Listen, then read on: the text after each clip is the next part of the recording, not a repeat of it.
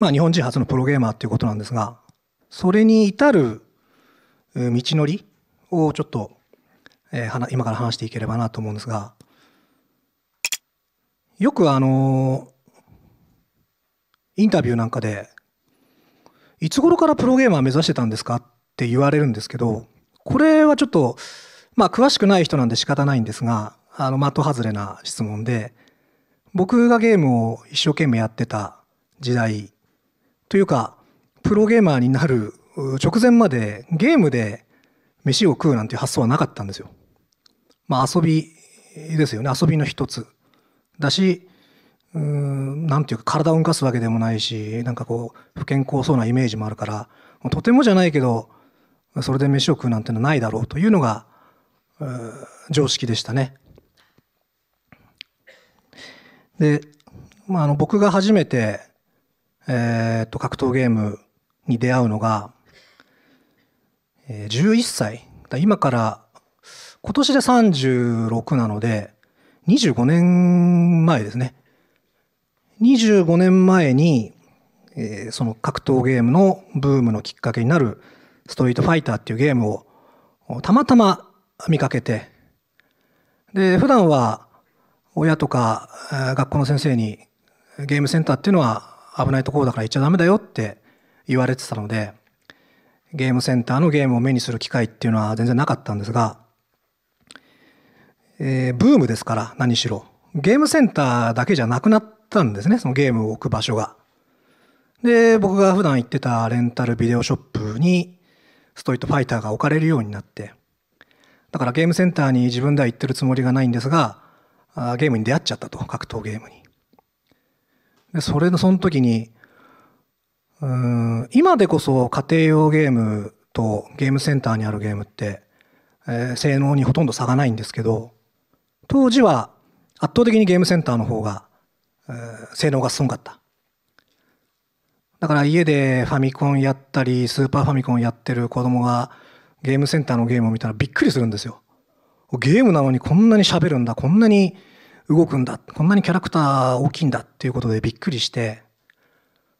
ああお金さえ払えばこんなに面白いゲームで遊ぶことができるんだなっていうちょっとこういけないことを知っちゃったような感覚になってでもそれがまた当時の子供の頃の自分からすると魅力的だったんですよね。そりゃ親も学校の先生も止めるわって。こんな面白いもん知っちゃったらまあ勉強するわけないしなってこう子供心にそう理解してでまあ親に内緒親とか学校の先生に内緒でそこからあ僕のゲーセン通いっていうのが始まるんですね。でお小遣いとかお金に余裕があればもうとにかく全部ゲームに使うもちろん親には内緒でなんか本買ったんだとか嘘ついてとにかくゲームセンターに行ってゲームをやると。でそういうことを11歳から始めて12歳13歳ぐらいまで続けていくと、うん、子供の朝知恵なんだけど単純に練習時間が長いから大人にも勝てるようになりだしたんですね。でゲームセンターっていうかその格闘ゲームっていうのは人と人の対戦ですから相手が自分よりも圧倒的に弱いと次第に物足りなくなってくるんですよ。だから、うん、これはもう俺は地元を出て、えー、もっと強い連中が強い大人がいるところに行くべきだなと思うようになって13歳ぐらいからちょっと電車に乗って、えー、流行ってるゲームセンターに行くように、えー、なっていきました。でそこに行くと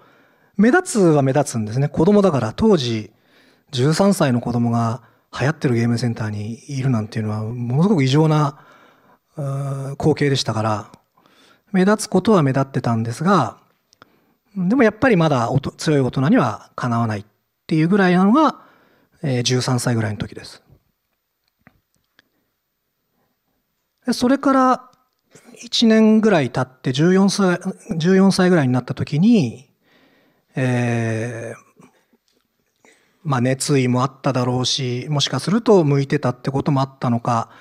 いろんなまあ要因があるんでしょう若かったとかいろいろあると思うんですけど急に勝てるようになりだして負けなくなってきて、うん、周りのみんなから「お前もしかして日本一強いんじゃないか?」って言われるようになり始めてでで自分でもそうかもしれないな俺はもう日本一強いかもしれないなって思っててその翌年、え、15の年の時に、え、メーカー公認のオフィシャル全国大会で優勝もすると。だそこであやっぱり俺がどうやら日本一らしいっていうふうに思って、まあ、名実ともに日本一になるんですね。でゲームの世界だとそこから先はずっとうんまあゲームの世界ですけどねゲームの世界ですがエリート街道まっしぐらなんですよ。もう10代の時はもう勝ちまくり。もう俺人間じゃないんじゃないかって思うぐらい勝ちましたね。10代の頃は。うんまあまだまだうん全体のレベルが低いとか当時若くてやる気があったとか、まあ、いろんな情報格差があるとかいろんな理由はありましたがとにかくゲームの世界では勝ちまくってて。でもその反対に現実世界が悲惨なことになっていくんですよね。まあ当たり前ですよね。ゲームばっかやってんだから。うん意外に思われることが多いんですけど、えー、小学校2年生の時にえー、生まれはね、青森で7歳まで住んでて、で、東京に8歳で出てきて、そこからゲームにこう、ハマってしまうまでっていうのは、ずっとクラスのリーダーだったんですよ。話をするのも好きだったし、えー、当時としては体が大きかったし、まあ力もあったんですよね。だから自然とクラスのこうまとめ役だったんですが、えー、13歳ぐらいからいよいよなんかこうバス乗って電車乗ってあいつどっかになんかやりに行ってるぞっていう噂が広まり始めてでそれだけゲーム一本に熱中してるもんだから学校の友達が夢中になってる音楽流行りの音楽流行りのドラマ好きなというか流行りのファッションとか、うん、部活がどうだ受験がどうだっていう話題に一切参加できないんですよ。まあ興味もなかったし。でそうするといくらクラスのリーダーだったって言ってもあ、まあ、空気みたいな扱いになっていくのはそんなに時間かかんないですよね。あいつはもう俺たちとは違うんだなんかよくわかんない趣味にはまってる梅はオタクになっちまったよっていう感じでした。うん、でそれは実際その平気だったわけじゃなくてやっぱりそれなりに寂しかったですね。毎日行かなきゃいけない場所で、いくら好きなことをやってるからとはいえ、そんな風に、うん、仲間外れにされるっていうのは、あんまりいい気はしなかったです、当時も。うん、だから一時あ、俺もなんかみんなが聴いてる流行りの音楽聴いてみようかなとか。いや、実際に聴きました。実際に聴いて、流行りのドラマもちょっと見てみたりして。でも結局自分に合わなくてあ、これはちょっとこう自分の好きなこととか、うんそういうのを殺してまで、うん、学校の友達と仲良くなってる必要あんのかなって。答えはね、まだ若いから出なかったけど、疑問ですよね。